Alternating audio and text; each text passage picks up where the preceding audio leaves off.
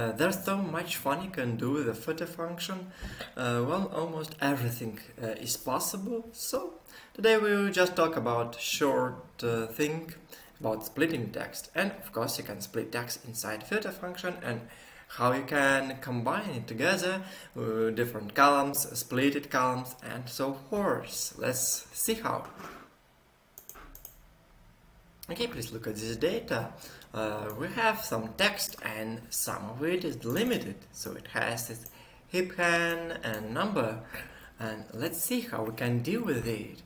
Inside the filter, uh, we'll use these curly brackets as we used to because this uh, was our best practice.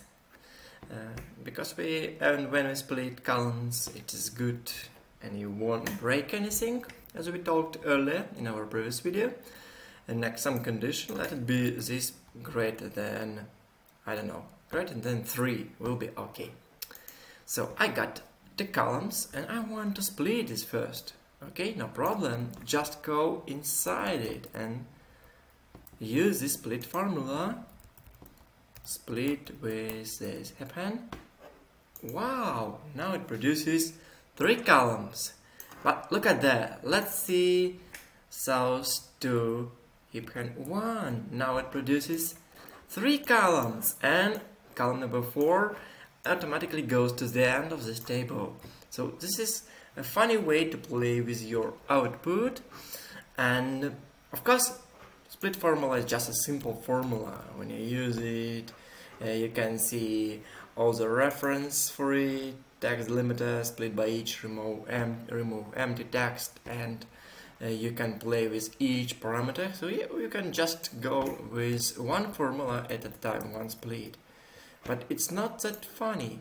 Uh, real fun and real power is in doing array formulas and filter is just great array formula to play with. Because you can easily um, make it lower. For instance here uh, greater than 3 okay.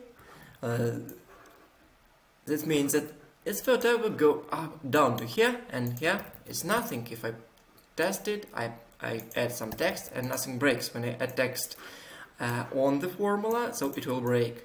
So uh, this filter is just great and powerful uh, function which you can build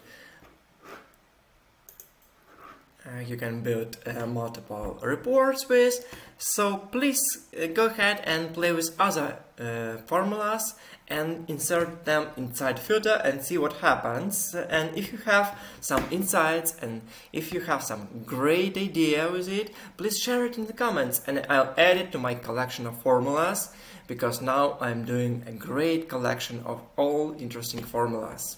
Thank you.